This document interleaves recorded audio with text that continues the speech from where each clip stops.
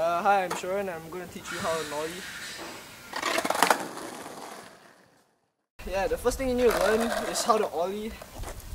Yeah, and get comfortable with your board, like so you won't like get speed wobbles and stuff while doing a nollie, and learn how to right switch.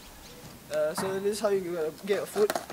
Uh, first, your back foot have to be like right behind the boards, like 90 degrees, and your front foot has to be like a V shape. So your like this part of the foot has to be aligned with the board. Alright. Okay, the thing you need to do an ollie is after you get your foot positioning right, when you pop it down like that, you have to pop it like in front of you like that.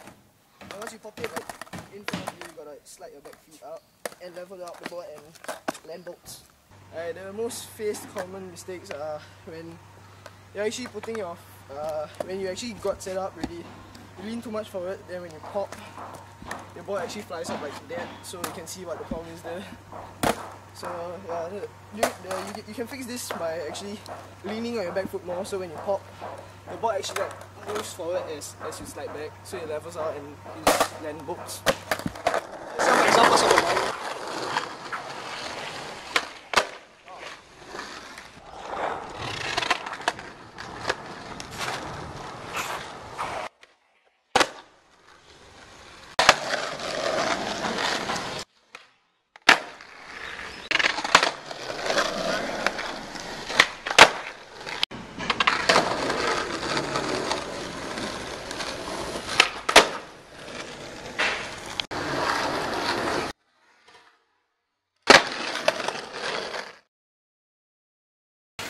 Okay, hi, I'm I'm Shou Ren and I'm this. Sorry,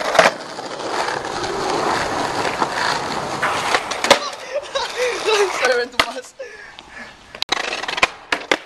Oh, that sucked.